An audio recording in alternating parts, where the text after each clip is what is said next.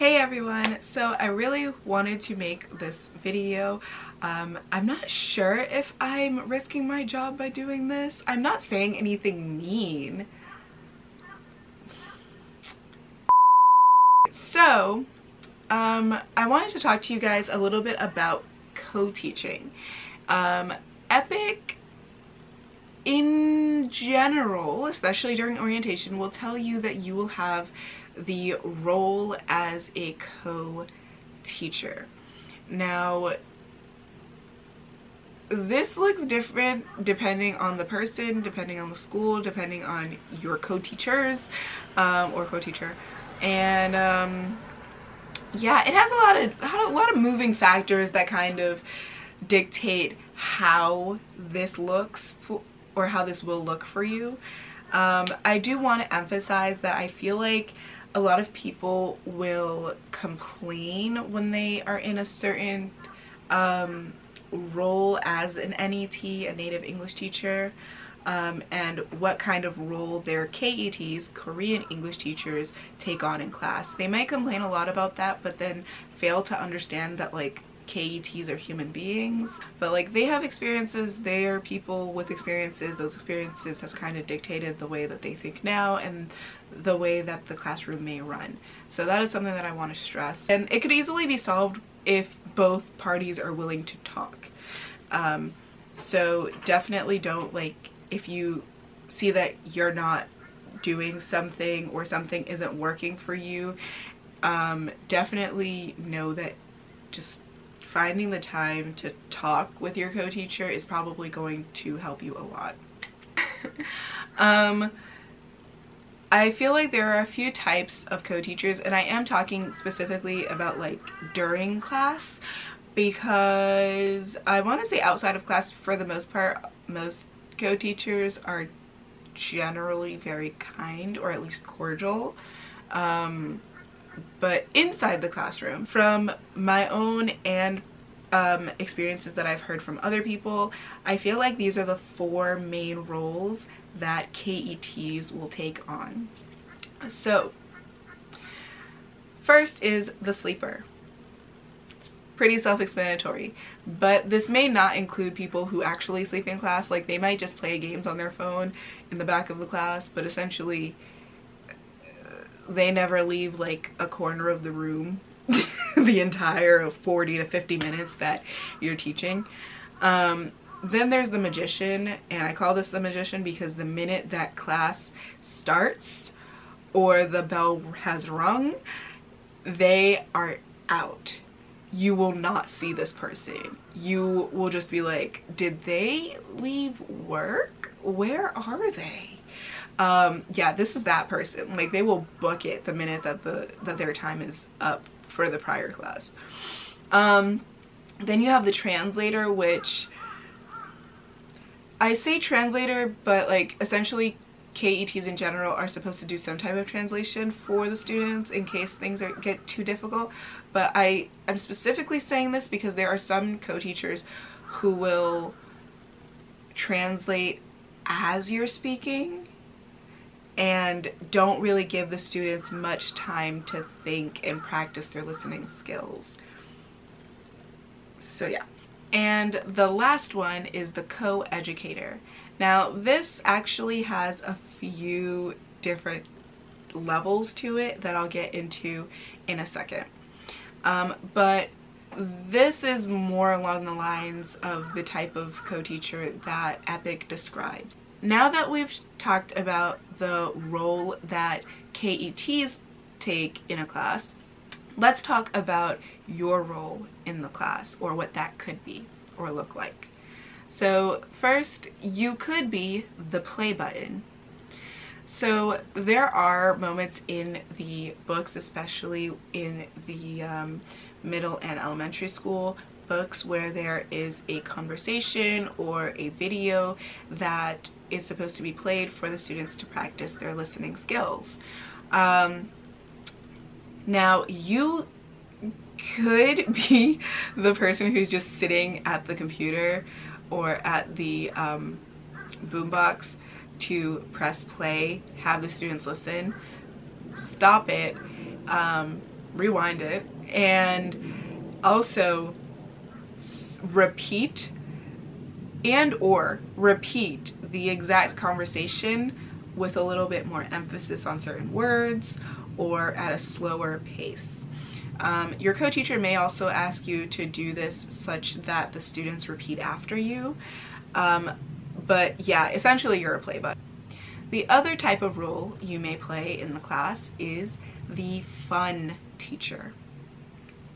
So the fun teacher um, may be the teacher who only plays games with the students. You may have a co-teacher who views NETs as the game teachers, like they only ever want to play games, they only ever make games for activities, um, they don't really want to teach, and it's probably because they met somebody who was like that, which sidebar, if you are not coming here because you actually want to give teaching a try, I really, really hope that when you do get here, you try to teach and not just play games with the students because you're not benefiting, because you're taking away from their education and they did nothing wrong. Coming back, um, because they may have experienced somebody who only ever played games with the students, that may be the way that they imagine co-teachers as being or NETs as being or they're kind of just like well I want them to the students to like have a good impression on um, foreigners or whatever the case may be whatever their reasoning is they may only want you to play games with the with the students. Um, and so maybe you'll the class the days that you have class maybe you'll have the entire 40 to 50 minutes to play a game um, or you'll get like the later half of the class to play the game with the students and in the beginning half your co-teacher may do the whole like um, lesson plan for the book.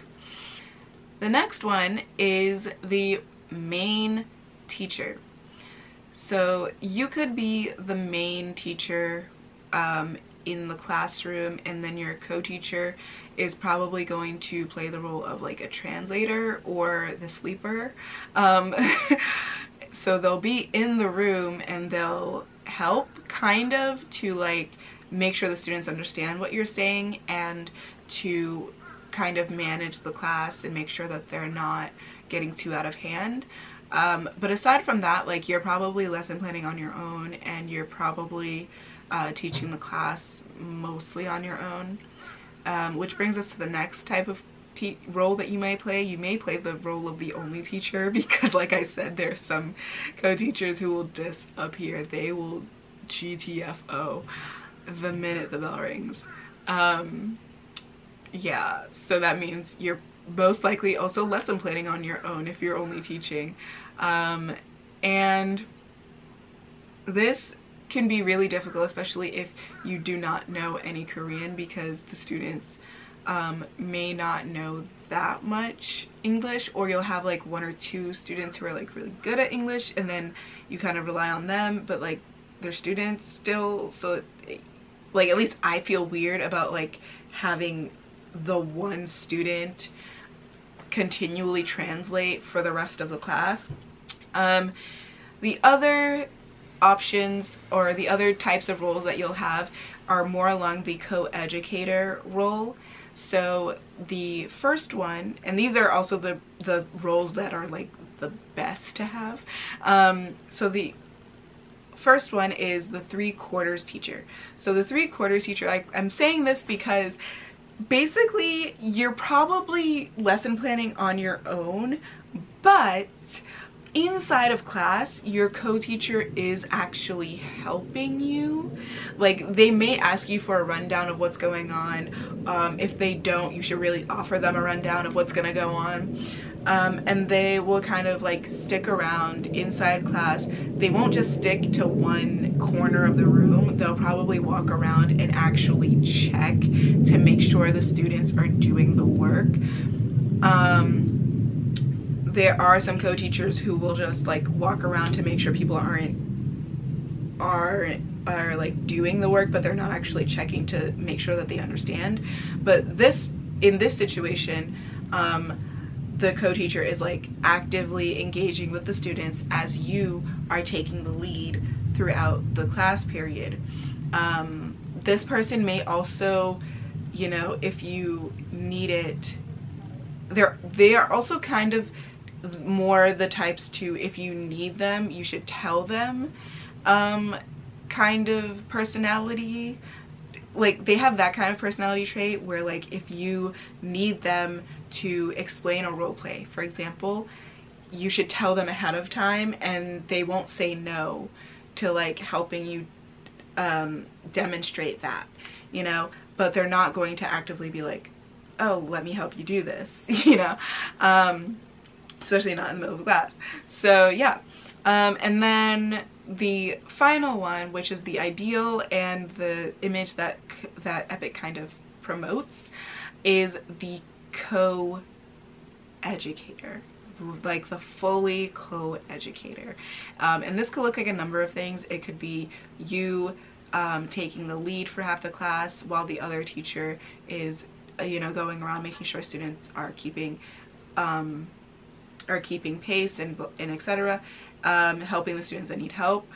They and then for and then at the middle point of the class period you kind of switch roles of being a co-educator or having that type of role is that you are likely lesson planning together.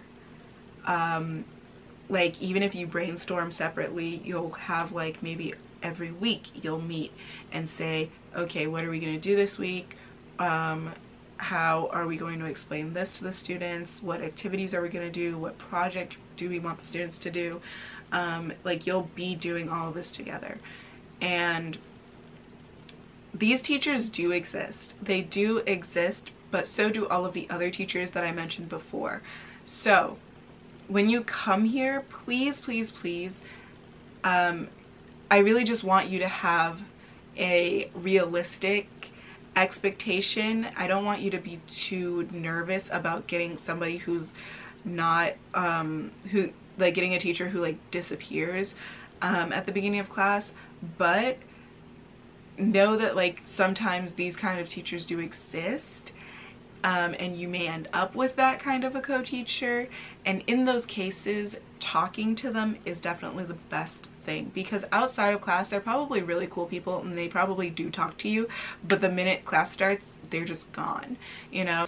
So yeah that's pretty much it. Um i hope that this was helpful. I really tried to not ramble and i still rambled. I'm so sorry about that but i will see you guys in my next video.